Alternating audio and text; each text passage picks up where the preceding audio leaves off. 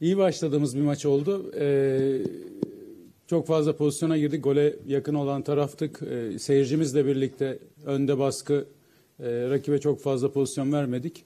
Aslında gole yakın olan taraf olarak e, maçı götürürken e, rakibimizden beklenmedik bir gol yedik. Devamında tabii ki gol yedikten sonra bir ufak bir olumsuz hava e, takım üzerinde oluşuyor. Bu statta da oluşuyor. E, bunun önüne geçemiyoruz. Ama e, ilk yarının sonuna kadar yine gol atma çabamız, pozisyona girme çabamız devam etti. Ama ikinci yarı başlangıcımız aslında e, çok daha ilk yarı başlangıcımızın tam tersiydi. Çok iyi başlamadık. E, orta sahayı zaman zaman kaybettik. E, pas hataları yaptık. Rakibe oynama şansı verdik. Devamında hatta tam oyuncu değişikleri ben yanıma çağırdığımda yaparken ikinci golü yedik. Devamında oyuncu değişiklikleri iki tane oyuncu değişikliği. Arkasından iki oyuncu değişikliği daha. E, dört tane yeni giren oyuncu biraz daha hücumda e, etkili olmaya çalıştık. E, devamında 10 kişi kalan rakibimize karşı da yine bulduğumuz iki gol. Bu geri dönüş bizim için önemliydi bugün. Puan kazanmak önemliydi. Hatta biraz daha vakit olsa belki üçüncü golü bulma şansımız da olabilirdi veya biz doğru tercihler yapsak saha içerisinde yani çok hiç yapmayacağımız oyuncularımdan hiç beklemediğim e, çok küçük e, yani çok net tercihleri çok yanlış bir şekilde çok e, zaman zaman yaptılar. Yani bir duran topta bile e, direkt 2-2 olmuş maç rakip kaleye yakın bir yerden direkt olarak atıp gol atma şansımız varken pasla başladık. Yani bu tür şeyler oyun içerisinde oluyor. Yoruldukça daha çok oluyor bazen oyuncularımızda.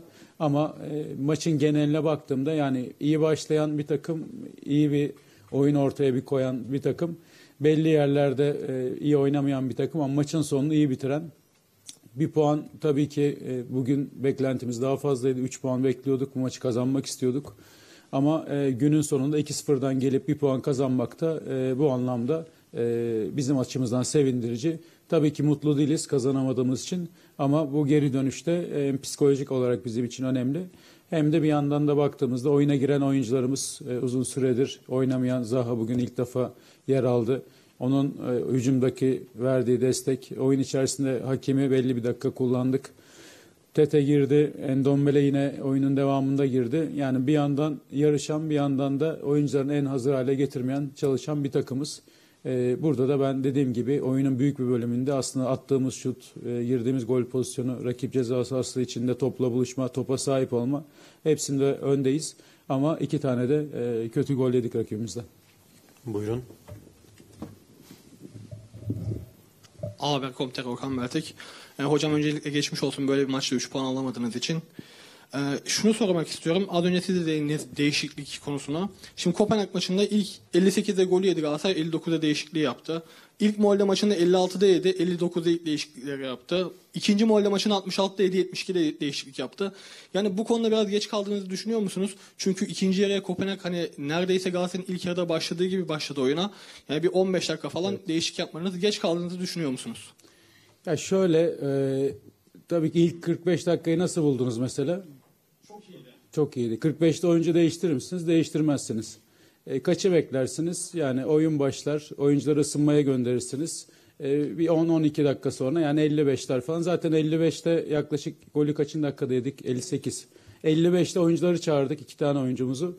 Hazırlanırken diğer golü yediniz. Yani burada biraz e, bizim de şanssızlığımız olarak nite- nitelendireceğim şey var. Çünkü oyun tabii ki bazı oyuncular iyi gitmediğini görüyorsunuz. Hemen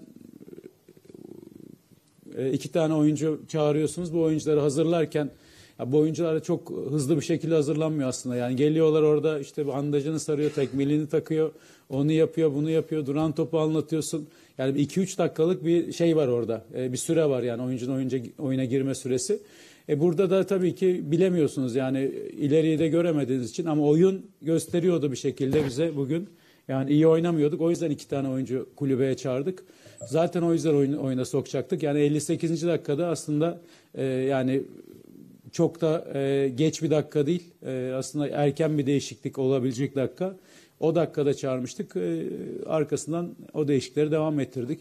Sonra iki tane daha soktuk. Çünkü oyun yine oturmadı. Yani bunu gördük. Hemen 3-4 dakika sonra iki oyuncu daha çağırdık. Onları soktuk. Ama e, dediğim gibi yani e, burada oyuncu değişikliği tabii ki olması gerekiyor. Ama e, hiç oyuncu değiştirmeden bitiren hocalar da var maçı. E, takımlar iyi gidiyor. İkinci yarı iyi başlıyor. E, belki 75, 75, 80, 85, 90'da değiştiren hocalar da var. Yani dünya genelinde zaten üst düzey hocalara baktığınızda yani hepsi 5 oyuncu değişiklik hakkını bile kullanmıyor. Bazen 2 değiştiriyor, 3 değiştiriyor, bazen hiç değiştirmiyor. Yani burada hep e, bizde hep oyuncu değişikliği olsun. E, herkes kadro yapıyor, herkes ilk 11 yapıyor, herkes oyuncu değiştiriyor. Ya tabii ki bu güzel futbolun güzel yanı bu zaten ama e, bir yandan da tabii ki oyuna başlama, oyuna devam etme, oyun dakikalarında vereceğiniz kararlar burada çok önemli oluyor. Oyuncuların e, ne dakikada da yorulacağını e, tam olarak bilemiyorsun oyundan düşeceğini. Yani biz hakemin bugün e, ikinci yarı hatta ona da dedim yani bana söyle ne, ne zaman yorulacaksın ama belli bir dakikadan sonra düştüğünü gördük. E, değişiklik yapmak zorunda kaldık. E, girecek oyuncular işte Zaha ilk defa oynayacak işte kaç dakika oynayabilir. Endombele'nin e, maç eksiği var fiziksel olarak tam yüzde yüz değil kaç dakika oynayabilir. Yani burada e, hazır olmayan oyuncuların e, olduğunu bilmek lazım. Yani bu oyuncuları erken oynatırsanız fazla oynatırsanız e, geç oy, e, erken oyuna sokarsınız zaman zaman işte sakatlığı var başka bir şey var. Ben en hazır halde oyuncularımı kullanmak istiyorum. Bir yandan da dediğim gibi oyuncularımı hazırlıyorum. E, bugün Zaha'yı da oyunun devamında kullandık. Bence verdiğimiz dakika onun da e, kaldırabileceği bir dakikaydı ilk maçına göre. E, bundan sonraki maçlarda onlar için daha farklı olacak ama dediğim gibi yani oyuncu değişikliği işi e, ya 45'te değiştirmeniz gerekiyor ama iyi gittiği zaman 45'te değiştiremiyorsunuz. O zaman bir 10 dakika oyunu görseniz en erken 55 oluyor. İşte 55-58'de benzer şeyler oluyor. Yani 75-80 olmuyor, 55 oluyor. Teşekkür ederim. Görkem Bey buyurun. Takvim.com.tr Görkem Ağgündüz. Ee, hocam bence ben de mücadelemiz için e, tebrik etmek istiyorum size öncelikle. Ee, ben de aslında değişiklikle ilgili bir soru soracaktım. Taktikleriniz tuttu aslında ama e, gol gereken dakikalarda bakan buyu düşünmemeniz taktiksel anlamda mıydı yoksa performans açısından mıydı? Teşekkür ederim. Ee, şöyle tabii ön tarafta bir değişiklik yaptık. Barış'ı oraya aldık. Ee, Barış'ı aldıktan sonra e, bir değişiklik hakkımız kalmıştı. Ee, son değişikliği de Endombele olarak kullanmak istedim. Öne doğru da e, top taşıyan, top eksilten, e, rakibi eksiltebilecek, öne doğru aksiyon yapabilecek bir oyuncu olarak onu kullanmaya düşündüm. Öndeki dört oyuncuyu zaten değiştirmiştim. Yani bir tek Icardi kalmıştı. Icardi'nin de sahada kalması gerekiyordu. Çünkü gole ihtiyacımız vardı. O yüzden e, savunmadan birini çıkarttım. Torreira'yı stopere çektim. E, hem daha iyi oyun kurmak için çünkü zaman zaman e, bizim yani Galatasaray seviyesindeki bir takıma göre e, geriden daha iyi oy- oyun kurmamız gerekiyor. Bugün maçın genelinde çok fazla geriye pas oynadık. Yani kalecimize çok fazla geriye pas oynadık. Özellikle rakip 10 kişi kaldıktan sonra da Torreira hamlesiyle hem orada e, oyunu daha iyi kurmak e, hem de e, orta sahaya bir tane daha hücuma yönelik yani hem Endombele hem Sergio Oliveira iki tane hücuma öne destek verebilecek oyunculardı. Topa sahip olmada zaten bize olumlu işler yaptılar. Ne zaman topa sahip olduk, yön değiştirdik. Golün birinde e, bu şekilde bulduk. E, özellikle Bakambu'yu e, kullanmama nedenim Icardi ile e, devam etmemdi. Buyurun. Ali Emre Dedeoğlu NTV. E, hocam iyi akşamlar. E, hem ikinci Molde maçı hem de bu maçta şimdi fizikli ve kapanan bir takım gördük. Acaba Galatasaray kapanan takımlara karşı ön alanda biraz hücumcuları pasif mi kalıyor? Çünkü Kopenhag'ın e, özellikle topu koşturması, topsuz koşuları çok fazla yaptığını gördük. Açık alan bulmasında tabii artısı var da.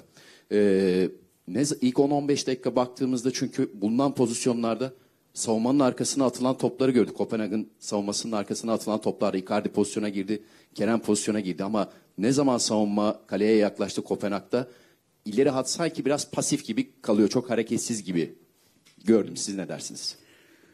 Yani benim görüşüm tabii ki e, yani ürettiğimiz pozisyonlar bir Şampiyonlar Ligi'ne maç, maçına göre e, bir de kapanan bir takıma karşı yani ürettiğimiz pozisyonlar aslında yeterli. Netliğine bakarsan birçoğu net. E, bir tanesini offside verdiler. Offside değil gibi gördüm. Icardi'nin pozisyonu daha devamında el olabilir gibi gördüm ama onu sonra incelemediler. Bir pozisyonu öyle vardı. E, ama e, genel olarak baktığımızda yani yani Kerem'inki de çok net pozisyondu. E, diğer girilen pozisyonların birçoğu netti.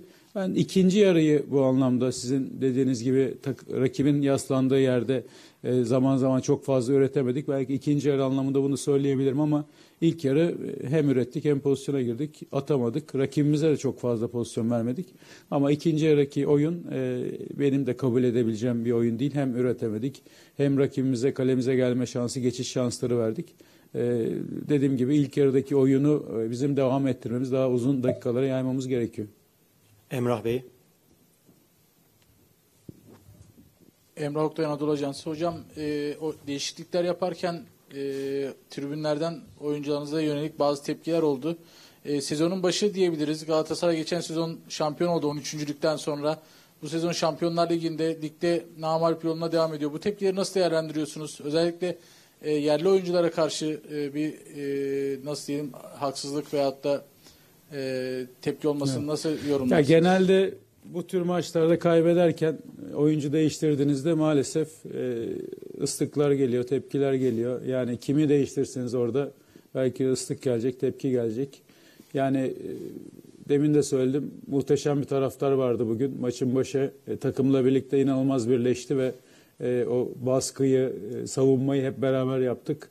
E, onun yanında tabii ki e, bu kadar kişi içerisinde e, ıslıklar çıkabiliyor. Yani bunun çoğunluğun olmadığını görüyoruz. Daha azınlığın olduğunu görüyoruz.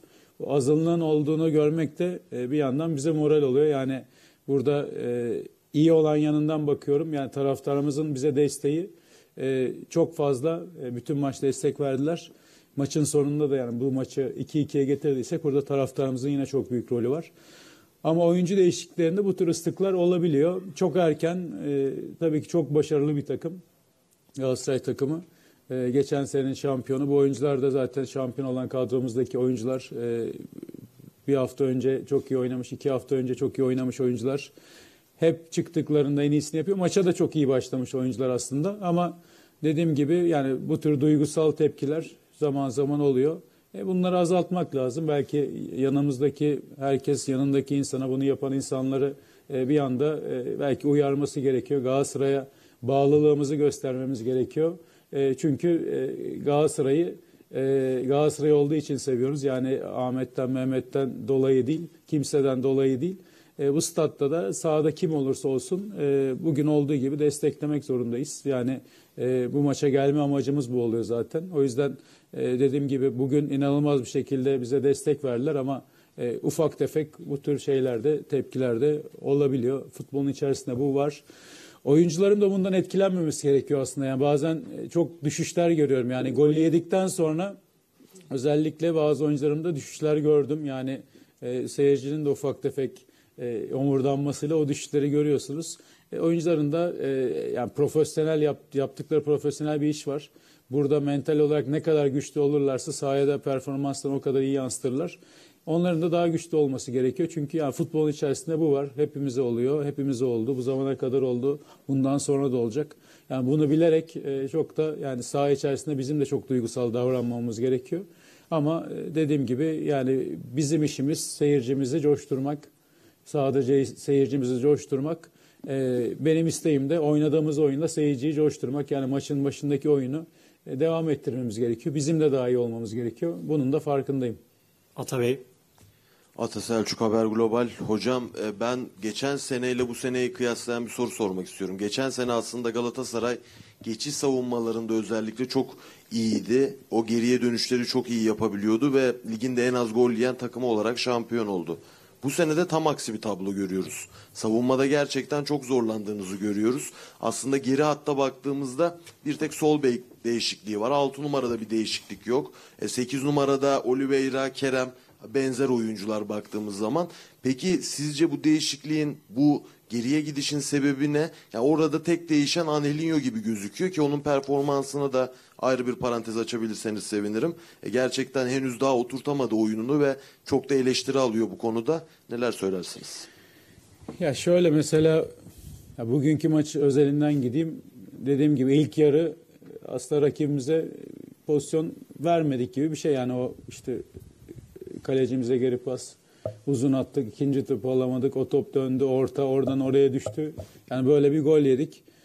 Onun yanında bu takım da zaten bize geçiş yapmak için gelmişti ama bunu e, belli bir bölümde iz- izin vermedik. Ama ikinci yarı e, Samsun maçında da aynısını yaşadık. Yani burada savunmamızın da zaten e, hep savunma oyuncularımla e, benim isteğim öne doğru takımı itmeleri. Yani zaman zaman arkaya doğru kaçmaya başlıyorlar. Özellikle e, iki maçtır benden uzak olan yerde e, takım savunmasının yani arkaya doğru e, zaman zaman kaçmasını e, görüyorum. E, bu istediğimiz bir şey değil tabii ki. Yani ilk yarı nasıl maça başladıysak, önde oynayacaksak, yarı sahaya kadar çıkacaksak, takımı iteceksek. Ya bunu hep istediğim şeyler ama e, zaman zaman oyuncular yani psikolojik olarak da etkileniyorlar. Öndeki oyuncular kötü oynamaya başlıyor veya oyun içerisinde oyun istediğimiz gibi gitmiyor. E, bu anlamda geriye doğru kaçmalar başlıyor. Yani biz geride oynayacak, oyunu geride kabul edecek e, bir takım değiliz. E, bunu yapmak istemiyorum zaten. Bununla ilgili de çalışıyoruz. Yani e, bunu e, bizi önde oynamaktan e, eksiltecek oyuncu olursa zaten bununla ilgili değişikliğimiz olur. E, Birçok oyuncumuzu kullanacağız bir kere. Yani bunu e, hep söyle, söylüyorum. Yani maç maç bütün oyuncularımızı kullanacağız. Burada e, bütün oyuncularımız da birbiriyle oynarken en iyisini, en iyi performansı kim verecek bunu da net bir şekilde göreceğiz. E, Burada bir yarış var. E, Çok kaliteli oyuncular var. E, Angelinho da bu kaliteli oyunculardan biri. Ee, özellikle e, Gaziantep maçında çok iyi bir oyun or- ortaya koymuştu. E, bugün özeline baktığımda ilk yarı maça e, iyi başlamıştı. Belki ikinci yarı o da takımın düşüşüyle birlikte e, o da bir düşüş gösterdi. Ama burada bütün oyuncularıma güveniyorum. Angel'de güvendiğim oyunculardan biri. Daha iyisini de yapacaktır. Zaten o klasta bir oyuncu. Avrupa'da yine önemli bir kariyer elde etmiş. Sol bek olarak çok önemli bir oyuncu. O da da performansını yukarı çekecek diğer arkadaşları gibi. Son soru Mehmet Bey buyurun. Hocam iyi akşamlar. Mehmet akşamlar. Ayan Lig Radyo. Çok adreslediniz bu akşam ilk yarıyı. Sezonun 11. resmi maçı en iyi ilk yarı diyebiliyor musunuz? Yani e, mesela Samsun maçıyla karşılaştırdığında Samsun maçı bundan daha az pozisyon bulmuştuk ama 3 gol atmıştık. E, burada e, çok pozisyon bulduk, gol atamadık. E, o yüzden ilk yarı olarak belli dakika belki 20-30 dakikalık bölümü e, çok iyi oynadığımızı düşünüyorum. Bu da ne yapabileceğimizi gösteriyor. Bunun yanında tabii ki yeni oyuncularımız var. Mesela e, bugün baktığımızda e, sağ kanatta hakim e, ilk defa bu oyuncularla aşağı yukarı yani geçen maç sonradan girdi maç 3-0'da ama maçın başında maç böyle bir rakibe karşı Şampiyonlar Ligi maçı olarak e, ilk defa takımla birlikte o baskılara gitti. Oyun içerisinde opsiyon oldu, pozisyonlara girmeye çalıştı. O yüzden yani gelen oyuncularımızın, kadroya girecek oyuncularımızın alışmasıyla birlikte fiziksel olarak performanslarını da yüzde yüz buldukları zaman e, bizim için daha e, tabii ki oyun olarak e, daha iyi yerlere geleceğimizi düşünüyorum. İyi oyuncularımız var, e, bir oyun e, aklımız var. E, bunu bundan sonraki maçlarda daha net bir şekilde ortaya çıkaracağımızı düşünüyorum. Yani her geçen gün bizim için bir avantaj. Dediğim gibi hem yarışıyoruz bir yandan bir yandan da oyuncularımızı %100 hale getirmeye çalışıyoruz. Hala Eylül ayındayız. Yani e, geçen sene baktığımızda belki e, Galatasaray takımı en iyi performansını vermeye başladığı ay e, Kasım ayının başıydı belki Ekim ayının sonuydu. O yüzden e, gelişen ilerleyen bir takımız. İyi oyunculara sahibiz. E, dediğim gibi bugün ilk yarı çok iyi oynadık. Bu oyunu devam ettireceğiz. Daha uzun dakikalara yayacağız. Oyuncularım da e, hem birbirini tanıyor hem en yüksek performanslarını e, bir şekilde bulmaya çalışıyorlar. Basın toplantımız sona ermiştir. Herkese iyi akşamlar. Teşekkür ederim. İyi akşamlar.